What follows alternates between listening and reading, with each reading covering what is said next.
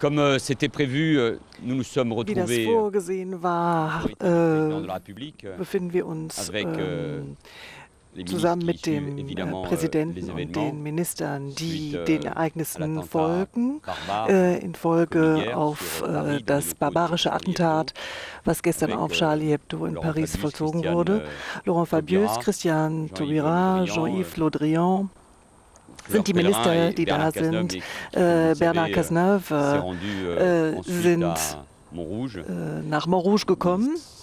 Événement particulièrement Ähm, euh, grave. wo äh, dieses schlimme Ereignis passiert ist und euh, ähm, wir haben den äh, Innenminister zur Situation gehört ähm, äh, und uns besprochen, wie wir euh, äh, diejenigen euh, befragen können, die äh, gestern dieses Attentat vollzogen euh, haben, die Sicherheit wiederherstellen können, wie wir uns äh, unseren Mitgegenüber, politique Mitbürgern gegenüber verhalten äh, werden und wie wir äh, die nationale Einheit äh, auch äh, äh, in Demonstrationen schützen können, Demonstrationen, euh, die la vorgesehen euh, sind und moi-même et les ministres concernés ähm, mich, ich selbst äh, und äh, äh, die betreffenden Minister haben uns mit den euh, äh, Abteilungen euh, zusammengesetzt und euh, folgen äh, aufmerksam vous euh, der toute, Situation, äh, um die Mobilisierung bereitzustellen, die wir brauchen.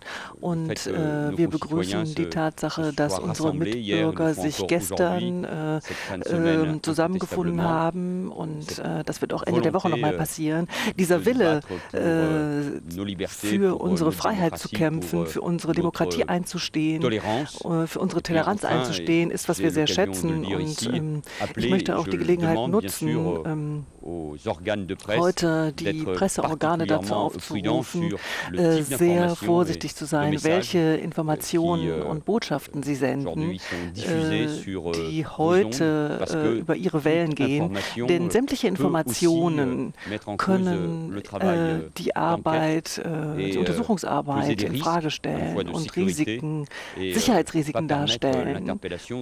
Euh, Das heißt, ich sende einen euh, Appell an die äh, Verantwortung jedes Einzelnen. euh, Heute, gestern Abend sur gab es Informationen auf allen Wellen, die, wie ich gerade gesagt habe, ähm, die Arbeit der Untersuchung äh, stören können. Natürlich gibt es äh, legitime Fragen, aber ich bitte Sie auch, äh, Ihre Verantwortung wahrzunehmen.